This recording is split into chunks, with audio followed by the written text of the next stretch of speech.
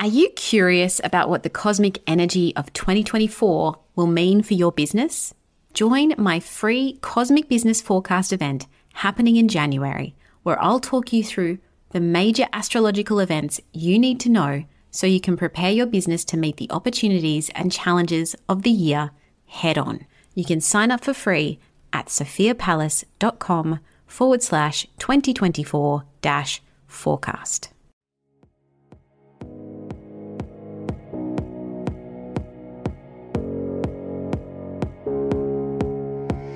Welcome to the Cosmic Business Breakthrough Podcast. I'm your host, Sophia Pallas, and this podcast is for soulful entrepreneurs who want to harness the cosmic power of astrology to elevate their message, unlock flow, and attract their best clients ever. Join me every week and get excited to discover how you can use the energy of the cosmos to get the business breakthrough you've been waiting for.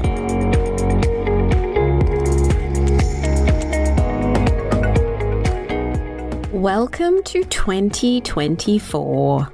We made it here. Can you believe it? And with Mercury out of retrograde and Mars in its superpowered position in Capricorn right now until mid February, it is time to get down to business. In fact, now is the perfect time to plan your year and tackle the things you've put in the too hard basket for too long. This is what Mars in Capricorn is all about. And that's why in today's episode, I want to explore how aligning your marketing activities or your marketing plan with cosmic events is going to give your strategy and your plan this powerful boost. We're going to discuss three ways to harness the energy of the cosmos and align it with your marketing plan for maximum impact in 2024. And on that note, just a reminder that I'm running a 2024 Cosmic Business Forecast event next week on Friday, January 19th. This is where I'll take you through all the major cosmic events of the year so you can be prepared and optimize your activities in line with the astro energy. To access this, all you have to do is register on my website, sophiapallas.com forward slash 2024 dash forecast, and you can join live or watch the replay for free. So, all you have to do to get access to that, whether live or the replay version, is register on my website. The link will be in the show notes as well, but I've tried to make it as simple as possible so you can be there and you can access this. Alrighty then, let's get started. Let's first talk about how cosmic events in general influence marketing or business activities. If you are new here, I love you. Thank you for joining us. And if you've been here for a while, I love you too. So grateful for your support and for listening to the show. But if you need a refresher on this, a cosmic event is a significant planetary alignment or a lunar event like a full moon, a new moon, or an eclipse, right? This is the kind of event I'm talking about. What are the planets doing?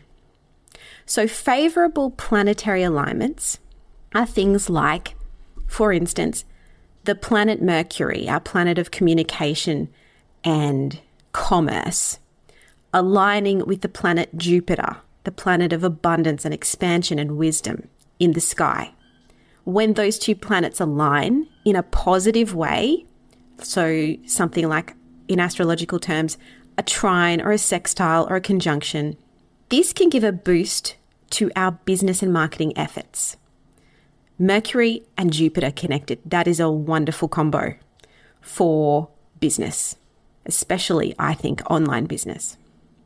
But if you have a challenging alignment, like, for example, Saturn, our planet of restriction and boundaries, square Mars, our planet of action, our planet of entrepreneurship and drive.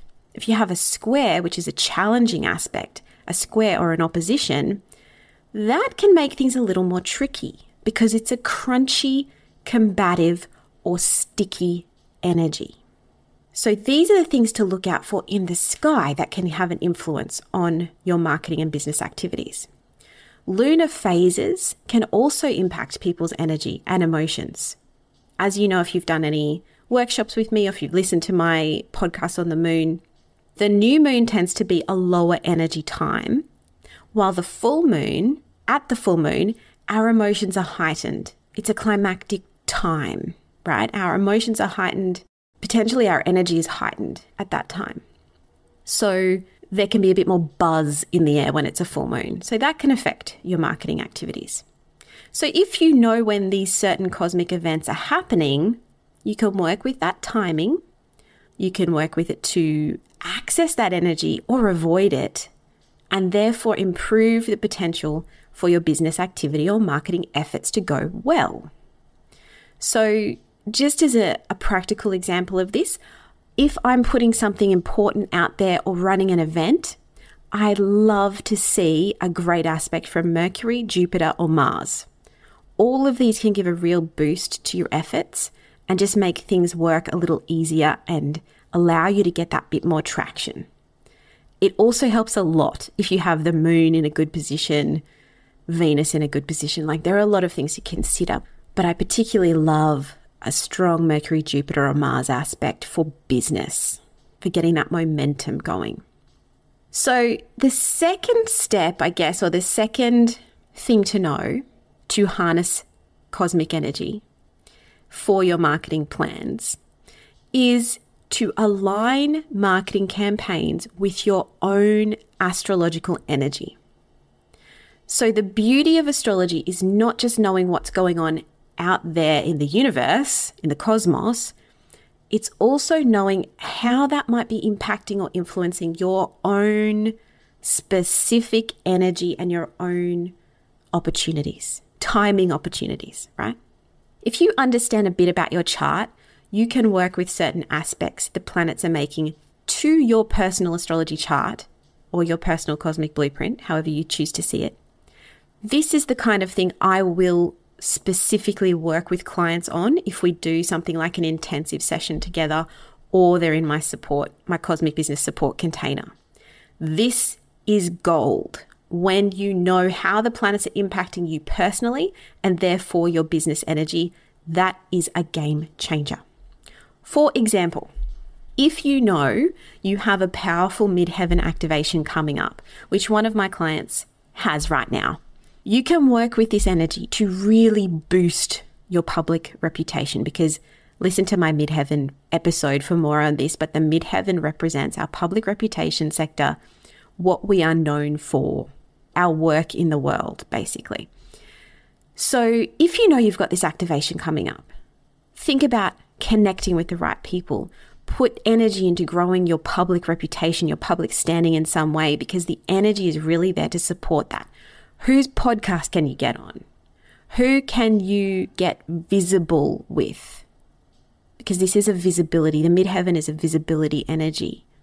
You know, what can you do to create more legacy in your business as well? Because that's what that energy is about.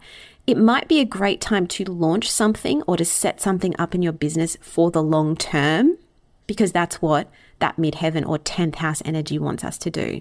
It is about our authority, our credibility in business, and our legacy in business. So, how can you work with that? How can you boost your credibility in some way? Another great aspect for marketing campaigns is a Mercury activation, which I've sort of touched on earlier. Maybe you have Venus aspecting your personal Mercury. So that Venus aspect offers sweetness, it offers delight, it offers pleasure, it offers opportunity to that Mercury. It may make your words especially well received at that time if you've got a Venus, a good Venus aspect to your Mercury. I mean, most Venus aspects are good because we consider Venus to be a benefic planet.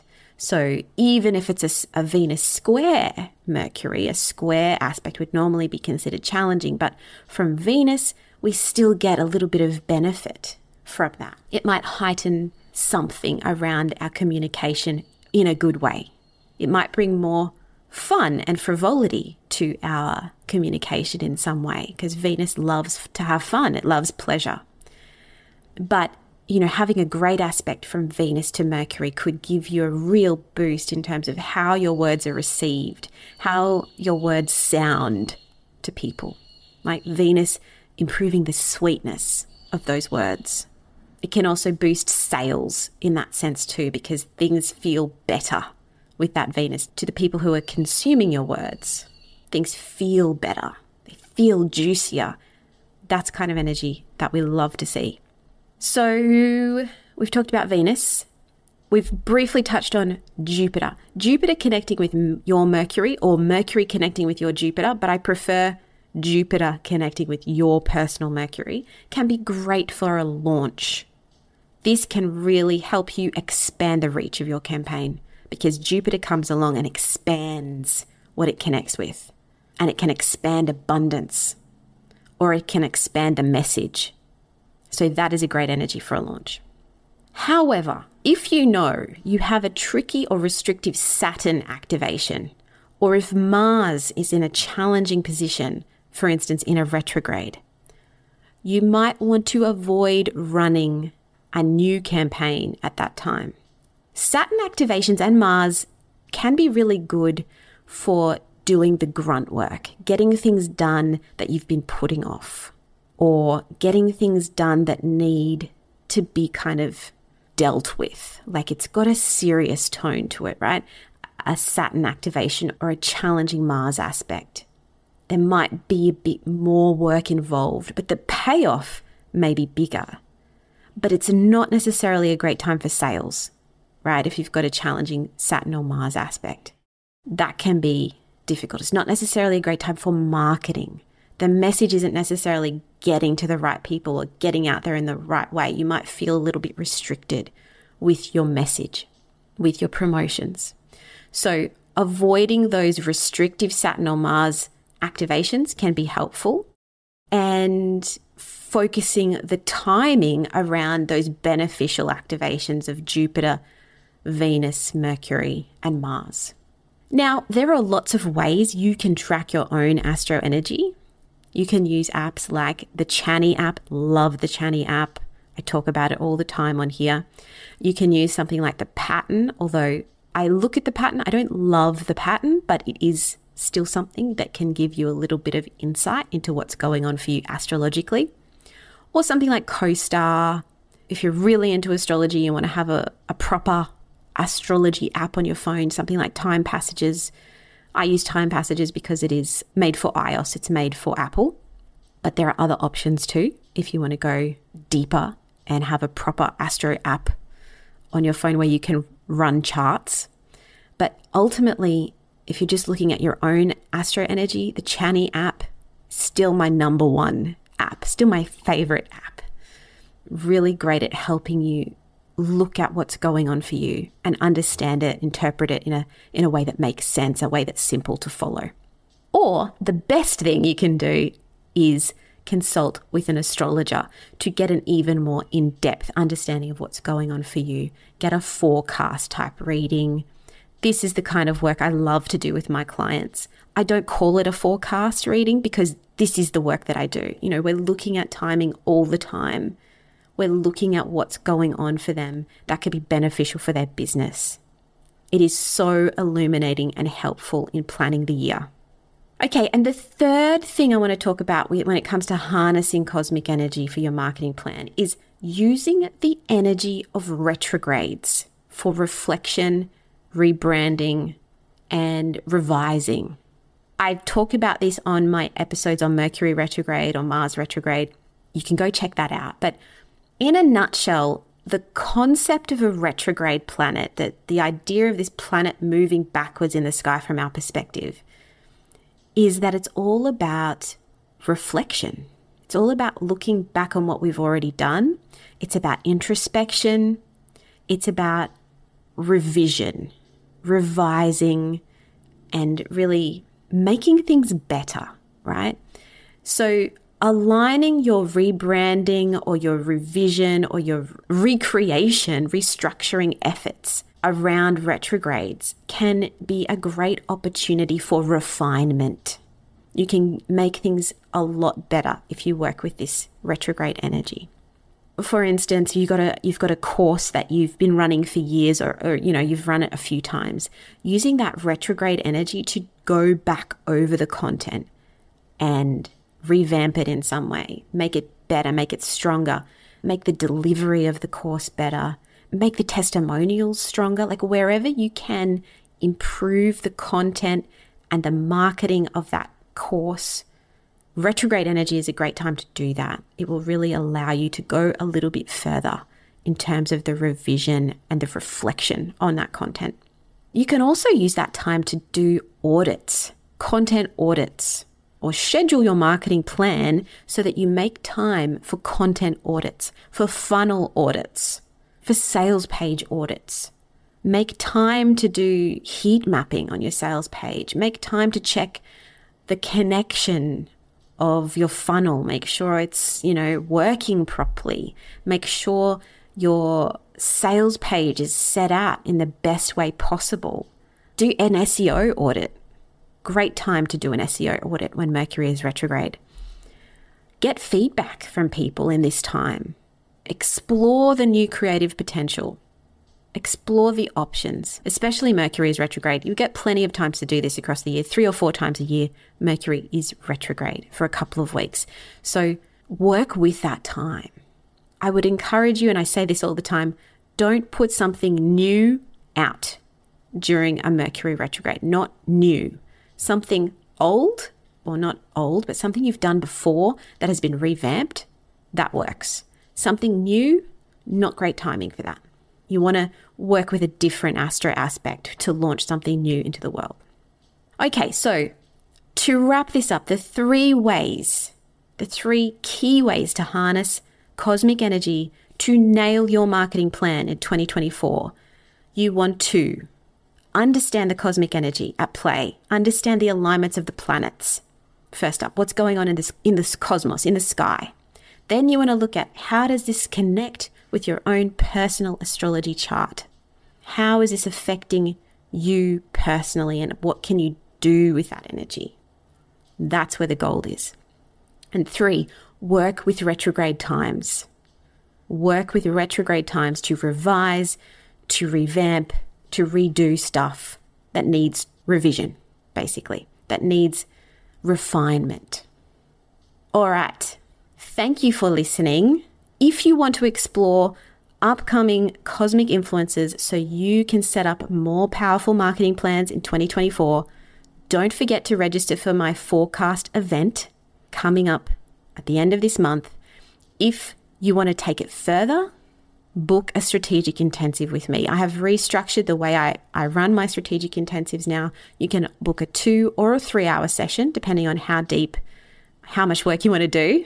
You do get a questionnaire before we meet. I do work before we meet to really understand your business, what's going on for you, how we can work with your cosmic energy to improve things over the course of the year.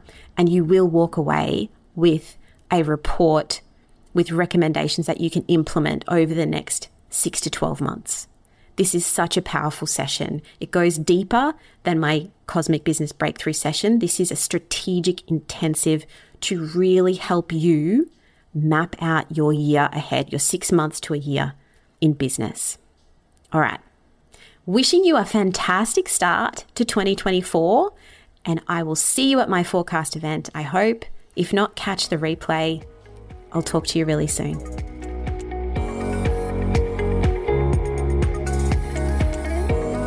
Thanks for joining me on the Cosmic Business Breakthrough. If you'd like to learn more about what I do, head to sophiapallas.com or follow me at Sophia Pallas over on Instagram. If you're listening on Apple Podcasts or Spotify, I'd love for you to take a moment and review the show if you found it helpful and share it with a few friends. Thanks again, and I'll speak to you next time.